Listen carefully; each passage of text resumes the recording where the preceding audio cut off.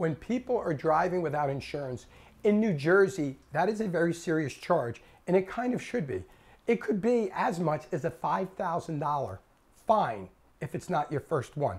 The reason it's important is because imagine that you or your loved one gets in an accident with somebody and they don't have insurance. There's very limited recovery sometimes in a lot of cases that you can have. So the first thing that you have to know is that you, if you get hit with a drive without insurance charge, if the car is not registered to you, that ticket will be, we will get that ticket thrown out. Because they issue those, a lot of times they will issue if you're driving the car, but technically it's really only the owner of the car that has to have that.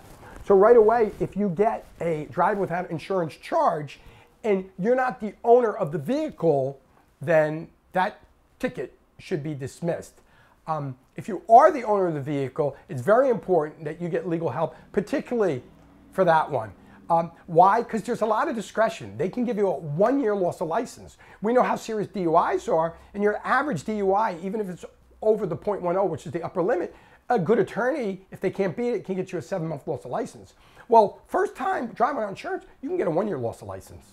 So it's very, very important that if you ever, oh, another important tip I would just like to get you, if you ever, if it's your car and you get a drive without insurance um, ticket, right away get insurance that day or by the next day. Because the worst thing in the world is when I'm representing someone with that ticket and I go to the prosecutor a month or two later and they still don't have insurance.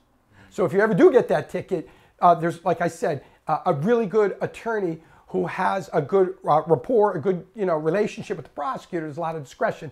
It could be as little as a couple hundred dollars and no suspension, or it could be a lot of money and a one-year suspension.